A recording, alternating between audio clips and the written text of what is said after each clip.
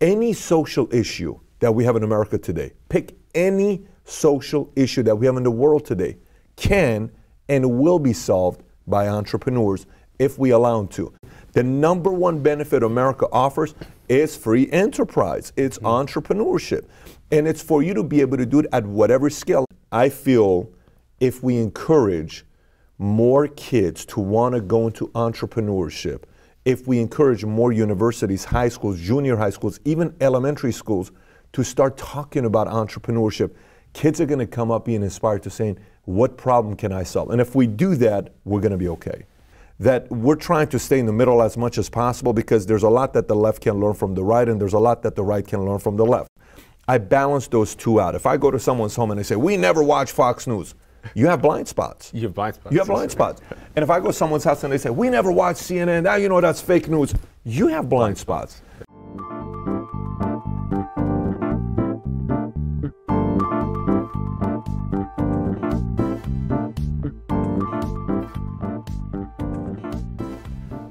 Boom! What's up, everyone? Welcome to Simulation. I'm your host, Allen Saakyan. For all you newbies out there, we are rebirthing the public intellectual by hosting the greatest minds of our time. I am super grateful to be on site in Dallas, Texas at Valuetainment. We are talking to entrepreneur, author, the founder of PHP, People Helping People Agency, the fastest growing financial services company in America, also Valuetainment, the number one entrepreneurship channel on YouTube, Patrick Bet David. What's up? Not much. It's good to be on with you. Thank you for How coming on to the show. I'm I'm so so blessed to have you on, and you're a huge role model for me and so many others that are following their passions in life, figuring out how to become entrepreneurs in this world, and. I and this has been oh, this has been a long ride for you. You have a lot of videos online of your path, how you got to mm-hmm. where you mm-hmm. are, and so I, I, I want to focus a lot more of our conversation on sort of the higher level capitalism, entrepreneurship sure. conversations. And you have had PHP going on strong for almost 10 years almost now. Almost 10 years. Yep. And you have interviewed amazing minds, Kevin Hart, uh, Magic Johnson, um, Michael Franzese, right? Yes. Um, and those conversations have been you know in the multi-millions of views on your channel and you constantly have content coming out about how to make business plans or how to sell. You you you love selling and i love selling too. It's just so, such an mm-hmm, important trait mm-hmm. for us to develop over time. So i want us to talk about really this sort of w- where we're at today with the sphere of entrepreneurship and capitalism because a lot of innovations in our world have have electricity being innovated, uh, the internet and computers being innovated, even running water and ubiquity in food and all these things have they've just increased the, the standard of life and the quality of life. And so the idea of these things being not celebrated for some reason, the media is just straight up avoiding that, yeah. celebrating this type of stuff. Tell us about your synthesis in this moment. Yeah, so I'll give you two different perspectives on that. Yesterday, I'm with Anthony Scaramucci, with Bernard Kerik, and with General McChrystal in New York. We're having talks about different things. And one of the questions I proposed to uh, uh, Anthony Scaramucci, and this is a good challenge for you, I said, look, a lot of people uh, who are pro capitalist, they believe in uh, uh, entrepreneurship, they believe in business they are concerned about a guy like Alex Jones being censored, right? And you get a lot of people that are being censored now, they shadow ban, whatever you want to call it. Prager, Jones, Milo, all these guys. Now, some people say this is valid. Some will say it makes no sense. Let them say whatever they want to talk about. I think the one challenge you face is the younger generation coming up like yourself who is concerned about the future of capitalism and entrepreneurship needs to consider creating a platform like a Facebook, a YouTube, a Twitter, uh, any of those things, a PayPal, but politically, you may be on a complete opposite end that's pro capitalism. So you're not going to be able to say, I'm going to censor this guy because I don't agree with you. I'm going to censor you because I don't like what you're saying. You know, it's like, I don't, mm-hmm. you're too pro capitalism. The younger generation watching this, let me put it to you this way if there's ever been a time for you to be able to create a platform to compete with a YouTube, Facebook, Twitter, a PayPal, any of that stuff, today's the time because You know, Patreon. Look what happened with Patreon recently, with what they're doing with Dave Rubin, Sam, Sam Harris, with Jordan Peterson. And these guys are lucky. Forget about it. I'm no longer, I think Sam Harris just got off of a, a Patreon and he said, moving forward, I want you to subscribe and donate to samharris.org forward slash, I think it's subscribe. I just gave him a plug here. But he says, I'm not doing Patreon. I'm going to do my own thing now. Jordan Peterson's thinking about doing his own thing. So anytime there's a major pushback, you are giving strength to the opposite side. Let me explain. Bush gave birth to Obama, okay? Obama gave birth to Trump. Now, whether either one wants to take credit for it, that's just kind of how things work. You push far right in America, we're going left. You push far left in America, we're going right. And generally, the whole idea is that we're trying to stay in the middle as much as possible because there's a lot that the left can learn from the right and there's a lot that the right can learn from the left. Now, having said that, let's set that part aside. The other side about, you said my synthesis is I'm at Harvard Business School for the OPM program. I didn't go to Harvard Business School. I don't have a four year or a two year. This is simply a owner president management program that they have. You have to do minimum $10 million per year or higher. You go, there's about 140 students from 60 plus countries, and we spend three and a half weeks together on campus it's a great experience. And one of the days, 12 of us were chosen to get up and give our solution for the future. I was one of the presenters. My message was around education because of my challenges with the education system. And here's how I saw the solution. And the next thing you know, the next uh, presenter goes up and he says, Here's the invention we've created. Uh, how would you like it if we could contact the mayor and predict an earthquake from happening and giving him a six minute warning. What is that worth? So we're sitting there saying, wait, wait a minute, what do you mean by that? Think about it if we could say in the next six minutes, a 6.8 Richter scale, you know, earthquake is about to hit your city, warning. Mayor, handle and make your decisions. You have six minutes to tell people to what? Evacuate, get out. Maybe we're going to save thousands of lives. What is a product like that worth? Then another guy gets up. He's an entrepreneur out of Africa, Lagos. He says, We have a water problem. Everybody around the world is concerned about water. Well, let me tell you what we've inv- invented. Per $100 million, we have invented a plant, a machine that through air creates water.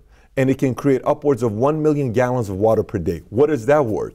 And I'm just sitting, I'm just mm-hmm. wondering to myself, I'm like, you know, any social issue that we have in America today, pick any social issue that we have in the world today, can and will be solved by entrepreneurs if we allow them to. If you and I were to play a game, and let's just say we started a show, and by the way, this is not a bad idea for somebody to do this with their own YouTube channel. Say, here's your show. you bring in five entrepreneurs, five thinkers. So, say for instance, you bring myself, Jordan Peterson, Sam Harris, Dave Rubin, uh, Ben Shapiro, or you know, a uh, Gary, a, a whoever these entrepreneurs, these people you bring together, and you say, the game we're going to play today is I'm going to give you a problem. You guys got one hour to decide how we're going to solve this problem. Okay, what's the problem? How are we going to solve uh, the issue we're facing in Japan that has to do with XYZ? Okay, how are we going to solve the problem we're facing in such and such city, Detroit, that has to do with this? Okay, here's a problem. You have one hour. Come up with a game plan. Put five in a room with the context we have, the resources we have, the creativity we have. Look what happens an hour later. In an hour, that we have to present it. This is what we would do. We would contact Joe. Joe knows this. I contacted Jack. Jack told me about this person. There's a technology that's currently being used in Brazil that's being, this is patent right now, level three patent. Da, da, da, da. Here's what we would do to fix the issue in Detroit. Again, I feel if we encourage more kids to want to go into entrepreneurship, if we encourage more universities, high schools, junior high schools, even elementary schools to start talking about entrepreneurship, kids are going to come up being inspired to saying, what problem can I solve? And if we do that, we're going to be okay. Anything can be tackled by entrepreneurs. I believe that. Yeah. I believe that. Solving the world's biggest challenges and even putting together some of the greatest minds inside of rooms and just throwing problems at them and saying, all right, let's white, let's whiteboard out different solutions and then let's roll with trying to execute those and see what sticks in society to solve these problems. I am 100% with you on inspiring the youth to care more about this. So let's touch on that. What you have three children. Mm-hmm. You're, we see so many kids being born now into the information technology generation and into this exponential generation across all of the different pressing fields biotechnology, neurotechnology, artificial intelligence, blockchain and cryptocurrency. All of these different techs are exploding. So, how do we maximize the potential of the young kids to potentially pursue entrepreneurship? You wrote the book Drop Out and Get Schooled. And so, what do you think about how we can do that? Well, so one, if you want to talk the educational system, I think uh, uh, everything is changing. Everything is changing so fast. When I tell you everything, the way we're communicating, the way we're doing anything, the highest paid YouTuber last year was a seven year old that made $22 million. Let me say this one more time. The highest YouTuber last year was a seven year old who made $22 million. You ought to put the picture of it on Forbes when they see this. This is more than PewDiePie, more than Logan Paul, more than Jake Paul, more than anybody. $22 million, a seven year old, right? And what is he doing? Reviewing toys with mom and dad. You think mom and dad thought this was going to be a $22 million passive income? One of their videos has $1.5 billion. I mean, think about this life. $22 million, that's an NBA max contract, almost a max contract in the NBA. So, what is that? So, now imagine that kid going to school and having to listen to a teacher telling him how business doesn't work. Imagine trying to explain to that seven year old that creativity and all this other stuff, trying to put him in a box. I mean, that kid's gonna be like, why are you doing this to me? This, this is not fair. I don't like what you're doing to me right now, right? So I think there's gonna be a part of it where, with access to so much information, I think the educational system, in a way, is screwed. This is why. They are going to be forced to change. Force, it's not, and when I say force, I don't mean like a government force. This isn't like, hey, you better do it or else we're gonna come out with a new regulation and lobbyists are gonna go out there and make you come out with a new curriculum. Nope. I'm sitting with the former president of USC, and we're there, he's raising $6 billion. He's a Greek fellow. It's an incredible guy, and you know, when, whenever you're president of a university that big, your job is to learn how to raise money. That's really your strength. They raise, they bring people that are great at raising money. And he says, Look, I'm a professional beggar. What do you want me to do? That's what I do for a living.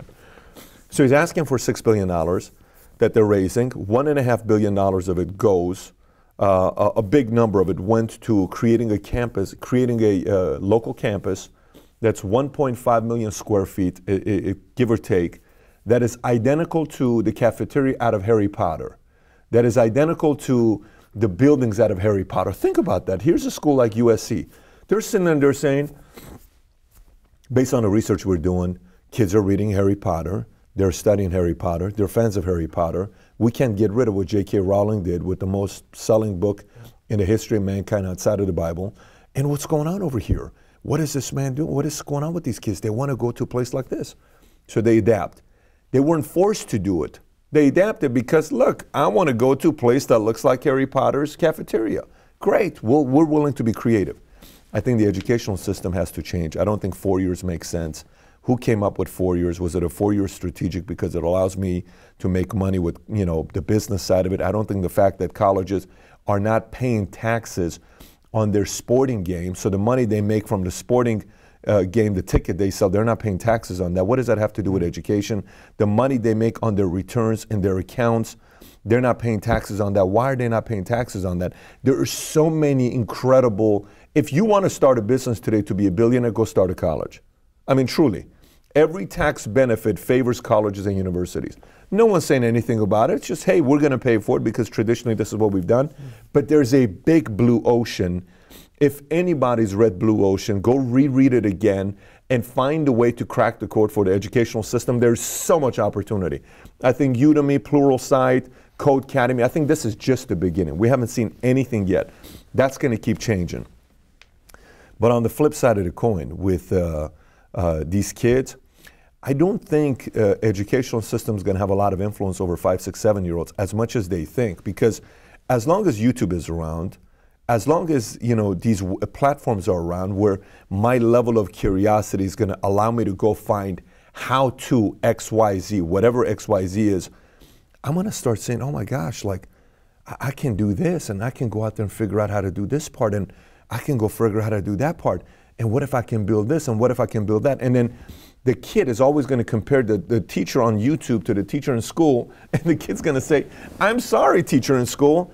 That, that person on that YouTube channel is just a better teacher than you are. I can't listen to you. I would much rather go watch three hours of YouTube videos on this person mm-hmm. that admire, I'm, I admire them than watching you. So that comparison is eventually going to drive them nuts. It's like a girlfriend constantly being compared to the ex or boyfriend being compared to the ex, and no one likes that. Teachers are going to experience that, and eventually there's going to be a lot of friction. And after that friction, whenever we have friction, there is a solution always that comes afterwards.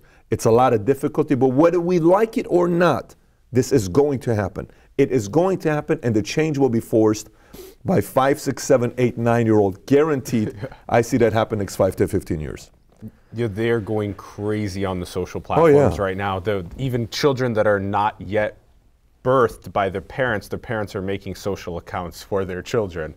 this is going insane. Yeah, and, and, uh, and, you're wondering, is that a good move? Is that a bad move? But imagine you're like 14 years old and your mom gives your Instagram account. Here, son, here's your birthday present, 18,000 followers. I've been doing this since you were born.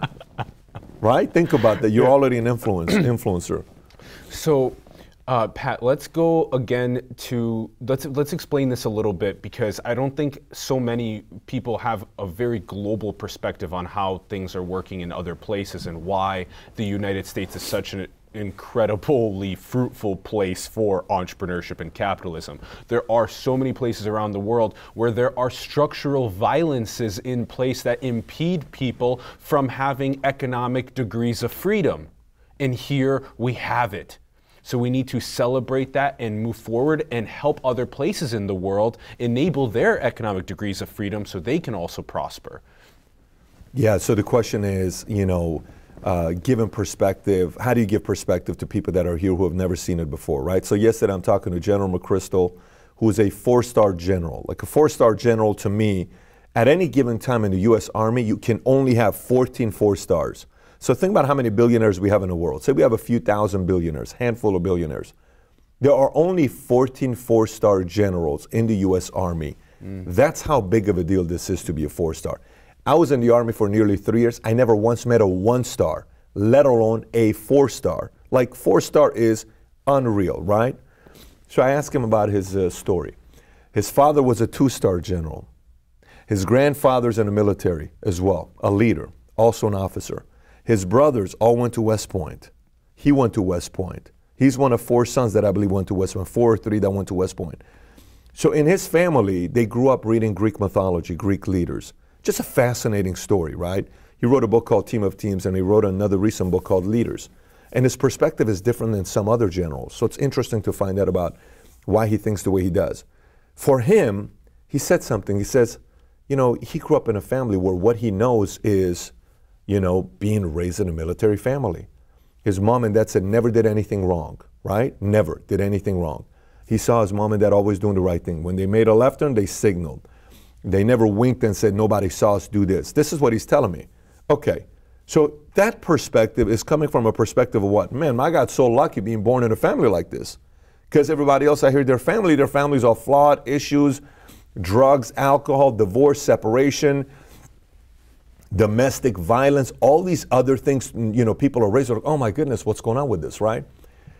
That example to me is the same exact example of people who are born in America and they've never lived in another place and they don't know how bad other places is. Mm. And sometimes we forget. It's like the guy that's got a good father who bitches about his father and his friend, you know, he bitches about his father to his friends and his friend pulls him aside and says, listen, I wish my dad was alive. Mm-hmm. I wish I said, please don't complain about your father anymore because it's so condescending to me because I wish my dad was sitting right here for me to have a five minute conversation while tears are coming down his eyes and he's telling the story to his friend. And that's what a lot of Americans are doing today. They're talking about America is this, America is not really great, America is not really the best country. Who said we're the greatest country? We need to stop with this exceptionalism and, you know, uh, America on time all these things that you hear about people that say that, but they've never lived in Iran. They've never lived in what's going on right now with France. Look at the streets of France right now, what socialism is doing. Look at what's going on in France. What's going on, what's going on in, uh, in Spain. Look what's taking place in some of these other countries. You know, look what's going on with people that are in Cuba. What's going on with people in North Korea. They don't know better. Some of these places you don't even have access to satellite. You know, the part that I am optimistic about when I think about this is the following. I think, like for me, coming to America, I don't have a four year, I don't have a two year. And I don't come from a family of money. My parents got a divorce. My dad was a cashier at a 99 cent store. My mother relied a lot on welfare. And uh, so I joined the Army. One day I'm like, listen, I want to break from everybody. I'm going to the Army. And I go to the Army and I stayed there for three years. 101st Airborne. I come out, I picked up discipline, I picked up focus, I picked yes. up camaraderie, those things from the military. Yes. I come out and I say, let me get this straight. You mean to tell me in America, if I get to work and I figure out a way to do something better, I'm allowed to make as much money as I can and build a life I want to build? Yes. Let me test this. Let me test it out. So my friends are graduating from USC, UCLA, they're making 60 grand year. All of a sudden I'm making 100. Then I'm making a quarter, then I'm making a half, then a mill. Then all of a sudden we build a business, then I raise money. Then Oscar de la Hoya is my business partner. Then you got uh, Gabriel Brener, who's the first Mexican-born president, Mexican-born uh, professional sports owner in America that invests into our company, Atalaya Fund, a $2 billion fund. I'm the majority owner. You go to Crunchbase, you read it, wow, this is really taking place. Wow, you're really making money. Wow, I can really push the envelope with YouTube and really scale this and build a platform and have a message that whether you like it or not, because I don't like this guy, you don't listen to it. I like this guy, you listen to it. You mean to tell me I can scale it this much? Yes. Unbelievable. Why aren't more people taking advantage of the biggest benefit that this country offers? It's like working for a company that says, when you work for a company, we give you a free membership to Equinox. You have this much money to spend for this. We give you scholarship to, go to leadership courses every year up to $3,000 as long as it's approved. And these are the seven things that you approved. You can go to Tony Robbins deal. You can go to a leadership seminar USC. You can go to this thing by this where you can go to a leadership thing over here. These are all approved. As long as you take it and you go, and we have to go with a partner from the company, we'll uh, verify the benefits. We'll give you 401k benefits. We'll give you stock options. We'll give you all this.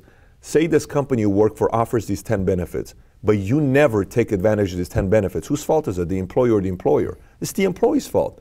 America, if it was a big country that offered all these benefits, mm-hmm. the number one benefit America offers is free enterprise. It's mm-hmm. entrepreneurship.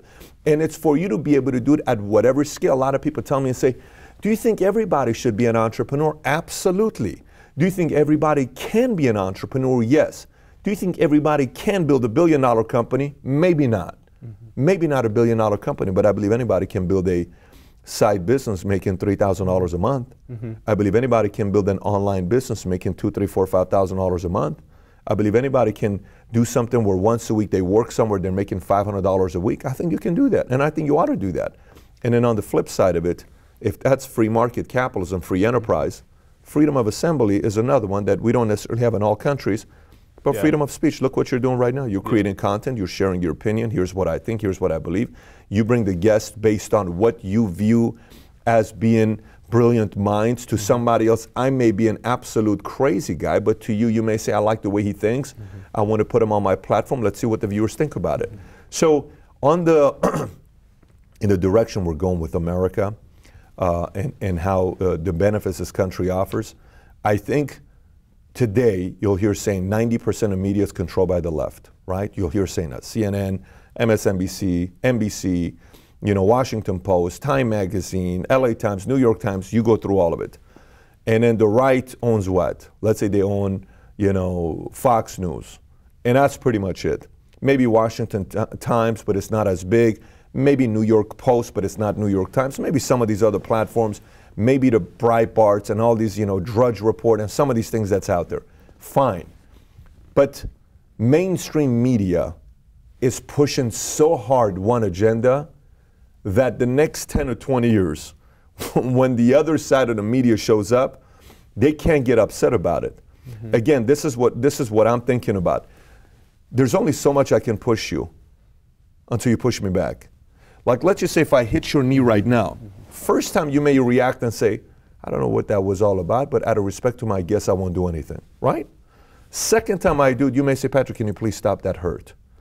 Third, fourth, fifth time. How many times can I do that? I mm-hmm. can't do that too many times until you react. Uh, yeah, yeah, so you're either going to hit me back or you're going to get up and say, I'm sorry, this is weird. I'm out of here, right? Mm-hmm. And you're going to leave. As bad as the concerns maybe from the capitalist standpoint, people that are worried about what's going to take place, I think this pushback is going to create the best innovators, the best capitalists, so the best entrepreneurs. I think the tide's going to turn in ways where they're going to say, What happened? And the message is going to be simple you gave birth to it. Yeah. I really love how you illustrated this benefits card that every single uh, citizen of the United States is able to pursue, yet so few uh, actually end up pursuing it. And I think there's a lot of social um, pressures the parents, the communities, the uh, people in higher positions of clout. There's so much pressure on people saying follow a path, a certain path, instead of make your own path, go and be an entrepreneur. It's not yet as celebrated as it could be, and hopefully with this new uprising in uh, in, in, in, in innovation and exponential technologies, that there will be more entrepreneurs more celebrated. And now, like you were explaining, also with the with access to information technology at our fingertips, anyone can more easily create. Gives a degree of freedom, and we hope to see that around the world. And we hope to provide people with those degrees of economic freedom around the world. Um, okay, so that's a lot on the on the entrepreneurship and the capitalism side of things. Um, I want to take a take a transition to interviewing because this has been something that you've been picking up, and it's been really fun watching you in your interviews. Um, how has this process been for you, and what have been some of your most profound takeaways from interviewing? So it's so interesting. You know, I've been interviewing my entire life. And what I mean by that is I've always been curious. So I always wanted to find out. So you know, my family would say, you would make a good detective. Why? I'm just curious, but it's not that I want to be a detective. I'm trying to find stuff out, right? So when I was working in the mili- when I was in the military, I wanted to know, I wanted to learn. You're from Mississippi. What is it like being from Mississippi? Like you said, Sioux Falls, right? Mm-hmm. I had a couple friends. I went to a wedding for a guy that was from North Dakota. And I would ask him, what is North Dakota like? Tell me about North Dakota. I'll never forget what religion he was. I'll never forget what the wedding was like. I'll never forget how he was like. His last name was Wilson. Nicest guy in the world. He lost his virginity to his wife. He never drank with us. He never partied with us. How can you stay so disciplined? I was always curious with that character. My sergeants, my officers, I was always curious. So later on when I got I started working at Bally Total Fitness and I was selling memberships but through selling memberships, instead of me sitting down with you and asking you, tell me some of your health goals that you have. Do you want to get cut up? Do you want to mm. lose weight? Do you want to increase energy? Do you want to mm, put on muscles? What are some of your dreams and goals? And you would tell me, how important is it to you? All that stuff. Okay, that's easy, right? And then I would put a regi- you know program together, put you together with a personal trainer, sell you membership, whatever it was. For me, I sat there and I said, if I have 30 minutes with you to sell a membership, this is what I want to know. I want to know what career path you took. What are the benefits? What are the pros? What are the cons? What do you like about it? What do you not like about it? What is the barrier to enter? What degree do I need? What kind of income potential does it have? What kind of lifestyle potential does it have? Do you like it? Do you not like it? I ask those questions. And through that is how I ended up in the insurance industry, believe it or not. I would ask real estate agents all the time, what is it to be a real estate agent? Give me the pros and cons. Uh, what do you like about it? Well, real estate agent, there's a lot of money to be made. Market goes up, you make money. Market goes down, you, you lose money. Every 10 years in real estate, you have a divorce. You know, and you learned how to build rapport with people really well. I did I, because I, my favorite product in the world. Some people like iPhones, some people like smartphones, some people like food. My favorite product in the world is people, mm-hmm. because no two is the same. Mm-hmm. So it's yeah. so fascinating to yeah. learn about them. I mean, how can you not get excited about learning about people? Mm-hmm. I asked you a question when you came. I said, Tell me about yourself. And you were kind enough and you kind of didn't want the attention to be on you, so you almost pushed back on the answer three times. But said, I want to know about you. You're born what? You said October 10th, your birthday. Your parents, you're from Baku. You know, your mom and dad over there, your dad's over there, your mom's over here. Tell me about the schooling, why I dropped out nine, seven years ago or six years ago. I moved mm-hmm. to Silicon Valley. Best decision I made. I was 19, you're 26 now. Mm-hmm. I want to know. I want yeah. to know how a person is. And so doing the interviews for me, one day we were like, Shout out right there, by the way. That is how you build relationships with people. This is a really important moment for people to remember that if you care, if you showed true, genuine love and care for asking people questions about who they are and what they care about in the world, what they want to build into the world, And if you can para- if you can paraphrase and, and show people that you actually listen and that you care, that that sort of relationship building and like we are snowflakes in a sense. No one's had the exact same stimuli that you've had in your entire. Uh, and I want to know about it. So I, want, yeah. I mean, I know my life. I want to know your so life. So much to learn. Yeah. So much to learn, right? So from there, then all of a sudden interviews came up and when we started doing these interviews the, the people being interviewed they're like why do you know so much about me? Like yesterday i'm sitting with bernard kerik former chairman a former commissioner of nypd and commissioner of correction uh, nypd correction. One of them was an $835 million budget. The other one was a $3.5 billion budget. This guy ends up going to prison. He gets hired by bush to become the homeland security uh, head and oh. then 11 days later they find out he didn't pay taxes on his nanny for 14 months and because of that, they put him in prison for three years. A couple other issues, but they put him in prison for three years. And he lost his entire reputation. Going back, telling his story at nine years old, my mother got shot and died because whatever she was doing back in the days. And I'm sitting, I'm like fascinated by this yeah. story. And he says to me, he says, How do you know the meeting I had with Bush right before that he landed back from Canada? I said, It's called research. Mm-hmm. I'm curious about your story. You have an incredible story. And so I think there has to be a level of curiosity, especially if you like the product. If you like the product, which is people, and I like people. I mean, yeah. I look at people, whether I agree with you or not. Some people ask me and they say, why would you sit with a Gloria Allred? Do you realize she's such a, you know, there's so many words to use for Gloria Allred. There's so many words to use to, for Jerry Springer. Why would you sit with Alex Jones on 9-11? Why would you sit with this other person, you know, Katie Hopkins? Left, right, middle, I don't care. I agree, I disagree with you. Criminal, not criminal, billionaire. Mm-hmm I want to know because I think there's something to learn from everybody, good, yes. bad, or ugly. So it's that level of curiosity that makes these interviews interesting to me. Yeah, that's right. I love I love where you took that. That's that's right. A level of curiosity, and also I would like to ask you about this as well.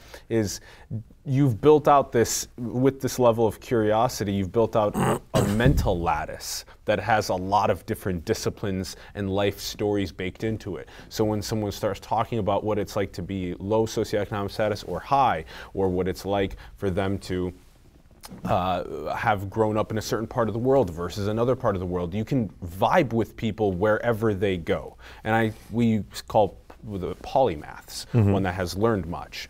And so when you have that mental lattice, it helps you relate with people on a deeper level. And then also the emotional intelligence, the empathy, that side of things, that you know how to how to how to be present with someone on an emotional level. So we usually smash those two things together and then you gain some sort of a really strong interviewing ability along with that curiosity. So do you where where do you what did you how do you feel about that sort of about your own mental lattice now being so multidisciplinary because you have had so many people that you've sat down with and asked. I love how you said you love people. That's your favorite product. so. It is hands down my favorite product. So I, you know, I think it probably, you know, uh, people tell me they say, you know, uh, memory. How can I get a better memory? Pay attention. Like, like when you're sitting with somebody, like if I can if I can get to a point where I'm sitting with you, no one exists around me, I'm paying attention. If I'm around you and I'm constantly worried about what happened there, what's going on with this, what's going on with this, what's going on with that, my wife, my husband, my kids, my this, I'm a different place. I may be getting 10% of what you're saying versus if I can disconnect and just be present with you, I may be able to get 40, 50% of it, right? So I want to be present when I'm sitting down with you. But to answer that question to you, I think it probably gives you an edge on knowing different rooms you can go enter and you know how to handle topics and discussions that come up to be able to connect uh, and that helps with business. But uh, you, you, there's got to be the desire behind it. Like i can't force somebody to do that. I can show you the benefits of it and tell you here's the 10 benefits of you being curious and how it's going to selfishly help you. So in, in a way where you do this you can advance in career 100% because if you mean to tell me you sit with your boss and you remember something about your boss that somebody else didn't remember, they're gonna be like, mm. boss is gonna say, wait a minute, how do you remember that about yeah. me? I like this guy. Let me help this guy get promoted. What can I do to help you advance? People will remember those things. Yesterday was my friend Phil Heath's birthday. He's a seven-time Mr. Olympia. So hey, you know, call to him and a message to him saying, hey Phil, happy birthday to you, man. You know, you're a champ. You've done amazing things, and even a simple birthday sometimes we forget those phone calls have so much influence Mm-hmm. But yeah, I, again, mm-hmm. I'm sure it helps, but you, it's got to be important to you. It's got to matter to you to do it. If it's too, if it's too strategic, the opposition, the other person's going to realize that you're doing it with motives behind it. But if it comes from a sincere place, they won't know it's happening. It just kind of happens because it's sincere.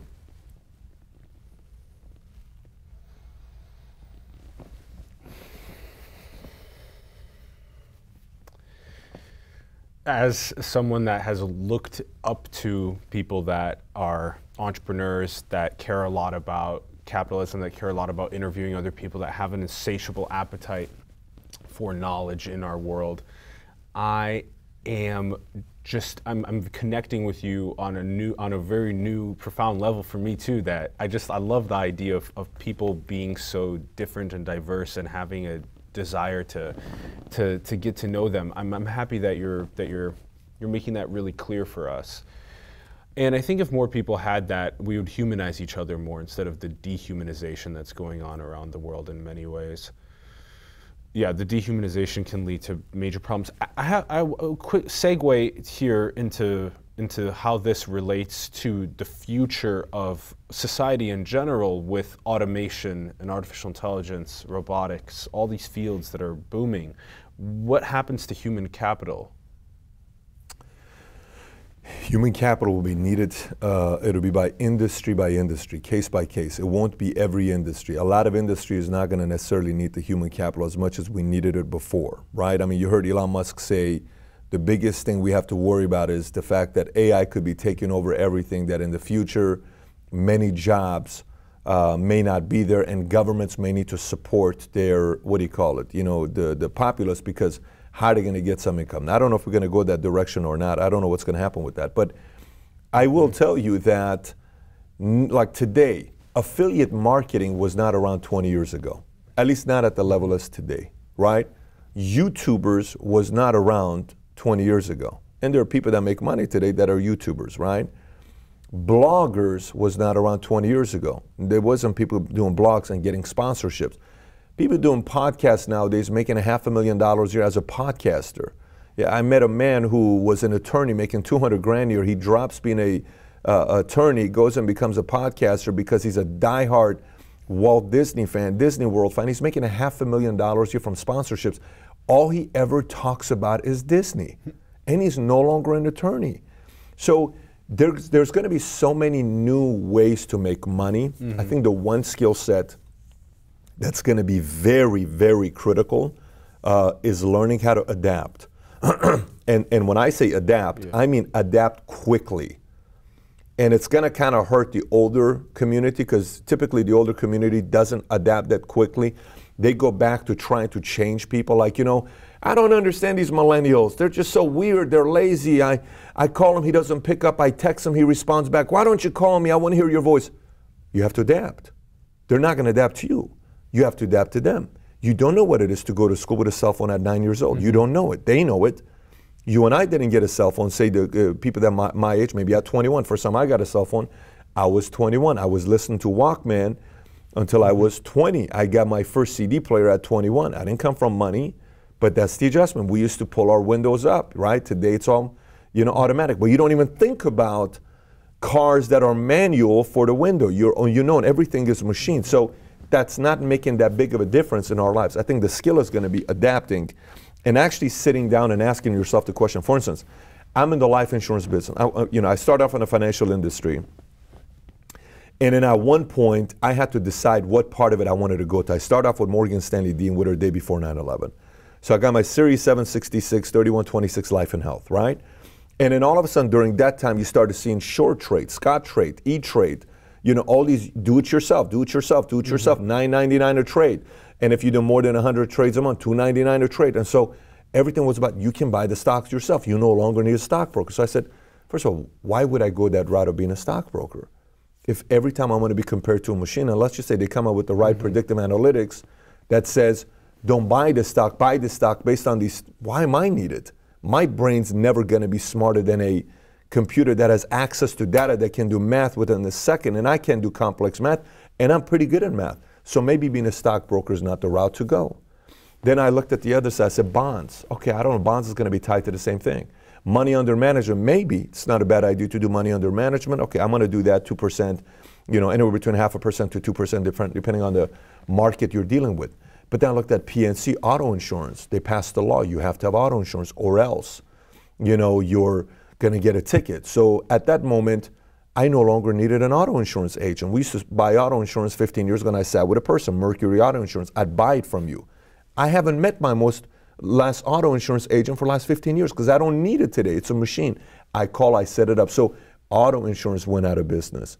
But life insurance, why did I stay in the life insurance business? Because no one buys life insurance. Everybody sold life insurance. And life insurance is never going to be a law for you to have life insurance. Mm-hmm. It's always going to be, I have to convince you to yes. buy life insurance. You don't wake up in the morning saying, honey, I feel like buying life insurance today. No one does that. You got to so, be educated on the importance of it. Yes, and it's an emotional sale. Auto insurance is a logical sale. Life insurance is an emotional sale. Johnny, what are you going to do if God forbid something happens to you? You have a wife, you have three kids, your wife only makes 40 grand, you make 150 a year. She can't survive on her 40. What are you going to do? Do you want your wife to rely on another man to take care of your kids and be forced to appease to the new man's rules? Or do you want to make sure that she dictates what the family rules are going to be based on the way you left your family behind? And he's like, and she thinks about another man that she could possibly marry. He says, oh, hell no. I need a $1 million life insurance policy. That's an emotional, right? So the life insurance industry is not going to take a hit. So I'm going back and all I'm thinking about is the part of AI.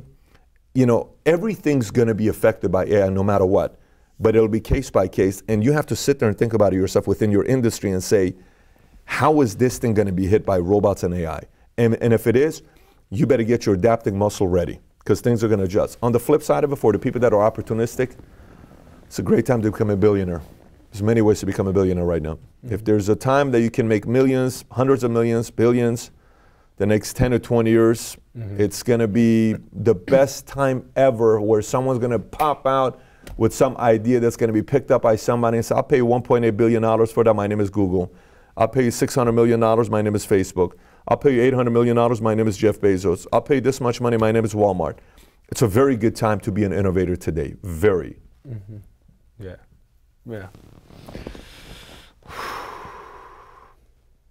And there's so much to be able to build with the new infrastructures in place. And the more degrees of freedom that pop in places like Africa, the more of these beautiful innovations that we're going to start seeing around the world. And it's going to go from 1,500 billionaires to 3,000 in the blink of an oh, eye. Oh, no doubt about it. and what are they going to build? And hindsight's always going to be 2020. We're going to be like, I, I, I, thought I knew that that would be that that would have been a good idea. So yeah, be that be the person that innovates. Go and build into the world. You guys always know that we're we're talking about that with a lot of of intensity, as do you, which is one of the reasons why I love you so much. You talk about building and creating with so much intensity. You even take this to PHP, you were starting talking about your agency a little bit. I found it so interesting that the agency itself has a very strong footing in helping the your individual financial services, um, the the service the, the the individuals that are that are the your agents are not only agents of the financial services and educating customers, but they're also working on their own individual brands, and that you guys help teach them how to do that. That is the new age. Mm-hmm. I love that. Oh yeah, absolutely. Because, you know, uh, uh, uh, so so for me, I was coming up in this company, and they said, you can't uh, build your own brand on Facebook or YouTube. You have to befriend me, befriend me. You have to do this, and you have to. I'm like, wait a minute, what do you mean I can't do that? And then I sat there and I said, my gosh, this is how other people are going to feel if they want to build a brand. I am too confined. And what if you get the Tasmanian devil? You think you can really confine and control the Tasmanian devil, there's no way in the world. He's got to go out there and figure himself out. And sometimes he's going to break a few things, but it's a person like that that's going to be able to take you to a whole different level. I said, we're going to embrace it. So what we did is we came out with a system. Like we would sit down with one of our guys, and we have one guy named Matt Sapaula, money smart guy, if you look up his handle. And he's a Marine, eight years in the Marines. He served, war all over the place. He's got incredible stories. But then he had his own TV show on finance in Chicago. He would go on panels. He was always on WGN with him and Chris Gardner, because Chris Gardner from Pursuit of Happiness, he's also a Chicago guy, and they would go out there and talk about different kinds of things. So he and I were introduced to each other by Dudley Rutherford, a pastor, and uh, we connected. And he says, hey, "You guys got to talk. He's Filipino, you're Middle Eastern. You guys are like brothers from you know different mothers, right?" And I said, "Okay, let's get let's talk." Then we connected. Then I said, "Listen, man, why don't you brand yourself as the veteran entrepreneur?" He says, "What do you mean?" I said, "There's 31 million veterans in America, some active, some inactive. They need help. You're going to speak their language. This is out of 330 million people. 31 million is 9.5%. It's a big population. So he did. Next thing you know, he has all these different events that he's doing with military folks, veterans. He's being contacted by the Marines, by Air Force, by Navy, by Army. He's doing so much work for the veterans. And he's making a seven figure year income. He's been with us for three years. In the first three years, we paid him $2.7 million. That's not bad. But our focus became selfishly what brand do you want to build? What is yes. your cause? What is your crusade? Yes. Let's help you get doing that. And on top of that, you build a business. Today, you got two brands you're building your business and your personal brand. You got to make sure you do both today. Yes, yes. And I want to see if we can uh, see the transition with, like you were just describing, the you're building a personal brand, you're building a business brand, you're doing those at the same time. Um, you yourself are, the people that work with you are, you're inspiring them to. Now, people from around the world are starting to do that. What are your thoughts about the current state of the geopolitical climate? Because there is a lot going on around the world, economically, politically, the way that commodities are moved around the world, the, the way that exponential technologies are coming forth. What do you see as going on today that is really important to keep an eye on? I, I think, you know, the, the whole saying of, uh, I just don't pay attention to politics, it's, it's too dirty. You know, I, I just don't want to deal with politics. Maybe you could have said that 30 years ago. Can't say that today. You cannot say that today you have to pay attention to politics today. And by the way, this is not a you know a Democratic message or Republican message or independent libertarian message. This is just a self-aware. This is a being aware of what's going on in the marketplace message. Because uh, I heard a quote one time. It was uh, I think it was by Plato that said, "Those who believe it's foolish to study politics will be led and ruled by those who do. Okay? So mm. remember, those who believe it's foolish to study politics will be led by fools who do. So if you don't study what's going on in the marketplace, you're going to be led by somebody else who does. So what's my mm-hmm. feedback to you? How do you handle it? You got to subscribe to three, four different uh, uh, uh, uh, writers, sites. I like Business Insider. There's certain things I like. And you got to subscribe to both someone on the Democratic side and you got to subscribe to someone on the Republican side anytime Trump does something right, and oh my gosh, and Fox News like, oh look what Trump is, maybe the greatest president of all time. I go straight to MSNBC and CNN. Anytime, anytime CNN, and MSNBC is saying something about, look at Barack Obama, he's the greatest president of all time, I go straight to Fox News. I balance those two out. If I go to someone's home and they say, we never watch Fox News, you have blind spots. You have blind spots. You have blind spots. And if I go to someone's house and they say, we never watch CNN, now you know that's fake news, you have blind spots. So this isn't the idea, like for me, I, I read uh, Karl Marx Communist Manifesto and I read yeah. Atlas Shrugged. But I think for some people that say, I would never read Atlas, at somebody that said, I would never read Atlas Shrugged. That Ayn Rand, selfish, B I T C H, I can't believe she is this. And I had some people that say, I would never read Rules for Radicals and Karl Marx Communist Manifesto. Why would I ever do that? Now you got you got to make sure you read them all to be able to have your blind spots being covered because you're like, okay, this guy says that capitalism works because of this. But, but Karl Marx says capitalism doesn't work because you become so competitive in the marketplace that you forget about your family. And so this is why it's better for us all to be at the same level. I don't know if I agree with this, but maybe he's got a good point with the family. So I don't know if I agree with. You have to come up with your own stuff as you're doing this. But a lot of times, you'll see someone that's politically left because their parents were left and their grandparents were left. Well, then that you you have blind spots, you know. And you know, for me, my mother's uh, side, they were communists. They all believed in communism. I mean, they're from Baku. Your family's from Baku. And they escaped from Baku and they went to Caspian Sea. Through Caspian Sea, they went to a place called Bandar Pahlavi, Rasht. It's no longer called Bandar Pahlavi after the regime change, but they lived there. But they still had some ties to communistic society. They liked it. It was warm. It was fuzzy. My dad believed in imperialism, the Shah. Today, I have one of Shah's former soldiers that's coming here to visit with me who became a special forces in U.S. He was the first Muslim special forces soldier in the U.S. Army. And he went back to Iran to help out with Jimmy Carter while the whole you know, embassy was being attacked. And I want to know, he, hear his story.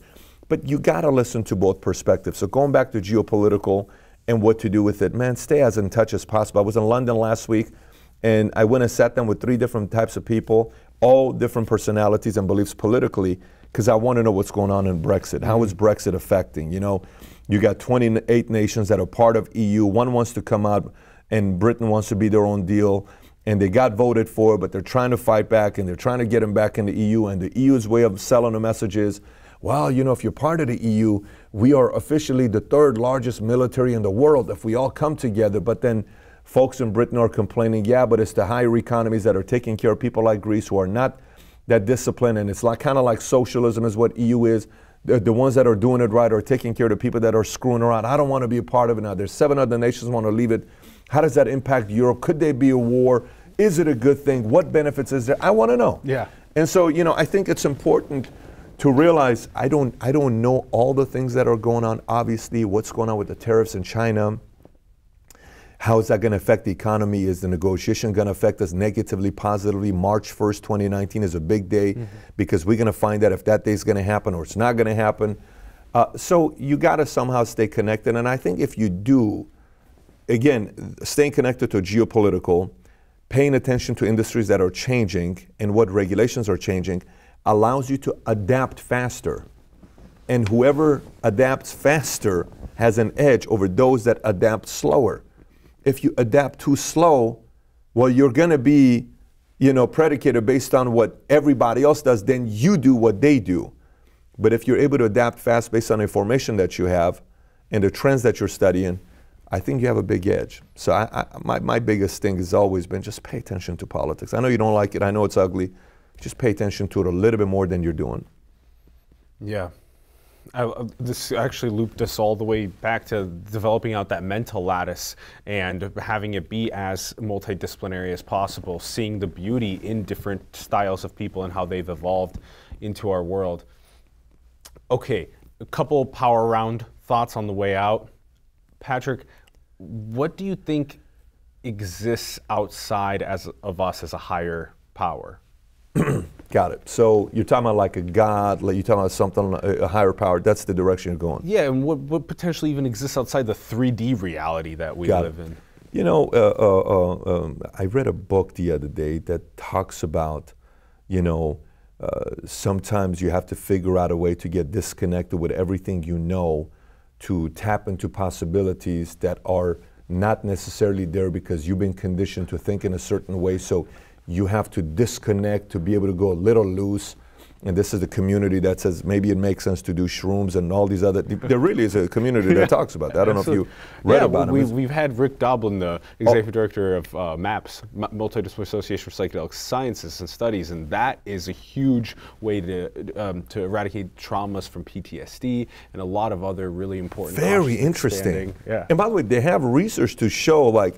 I'm not of that school. I'm, I'm, I'm the one that didn't want to touch drugs. I'm the guy that didn't like it. I'm, I'm not saying I didn't do a couple things to try them out, but I was always like trying to fi- figure out control. I don't want to be controlled by drugs. But you know, higher law. Okay, let's talk about that. Um, look, no matter what's out there, no one knows 100% what's out there. The atheist could be wrong or right. The agnostic could be right or wrong. The Christian, the Catholic, the Baha'i, the Muslim, the seven day, the Scientologist, every one of them is either going to be right or wrong, right? So for me, back in um, 2002, 2004, 5, I went on a journey. I said, I just want to find out about all these religions. So I went to Scientology and I started studying Scientology, Dianetics, because I had a lot of Scientologists around me. Then I went to Catholics and I wanted to study what made Catholics so special. Well, I realized they're more about rituals, and their rituals is incredible on what they've done. Then I went and studied Mormonism, LDS Joseph Smith. What is this whole thing with Book of Moroni and how he started in Vermont and he found these special plates and they started going different places and finally in Utah is where they stayed. And they figured that was a place for them to start their religion. So Brigham Young is the guy that's moving it around. Jehovah's Witness. Why do they believe in what they believe in? Why don't they celebrate birthdays and Christmas? Why is it that they think what they think? Seven day Adventists. So they're thinking simply was a Saturday, not a Sunday so that's the biggest disconnect. So Muslim, what, what is the Muslim? You know, what is the difference between Islam and Muslim? And book of Quran, and this whole thing you read about, you know, Muhammad, you know, was he a good man? Was he not a good man? Why is he, the criticism here? Why is Solomon Rushdie saying what he's saying? So I went through this whole period, because I was an atheist 25 years of my life. I didn't believe in God. I went to church and I would always get kicked out of Bible study in Iran. I said, You mean to tell me there's a God and we just got bombed and 200 people died and you want me to believe there's a God? If there was a God, he's strong enough to hold the bomb and not let it drop off. So that's the conflict, right? Why is it that good people die? Why is a six year old kid that hasn't experienced life yet all of a sudden get cancer and, and she dies in the arms of her mother? No mother should be holding a six year old daughter in her arms and losing it. That's a very emotional pain that she's probably going to experience for the rest of her life to overcome that. That's like 60 years of pain you just gave to a human being. I don't know. If, so I struggled with it a lot. And then eventually for me, it came to uh, uh, seriously a bet. Like you have to uh, bet on something and say, that's, that's where I'm going. And I could still be wrong. So I bet on that there is a God. Uh, to me, there's uh, too many weird situations that there is and there is. And I'll give you a weird story here, very weird story here. I got out of the army and I'm dating a woman. It's a love of my life. She's from Baku. I was telling you about her earlier. And we're in the car. We've been together for three years. I'm in the worst position of my life. I'm broke, $49,000 of debt. I have nothing going on in my life. And I want to be with this girl, but I can't afford to do anything. I mean, I can't afford to take her to movies. And we're at Universal Studios City Walk. We're upstairs in a parking lot. She gets in a car. She lives in her Integra, black Integra, and I'm on my black Expedition, and I'm sitting there.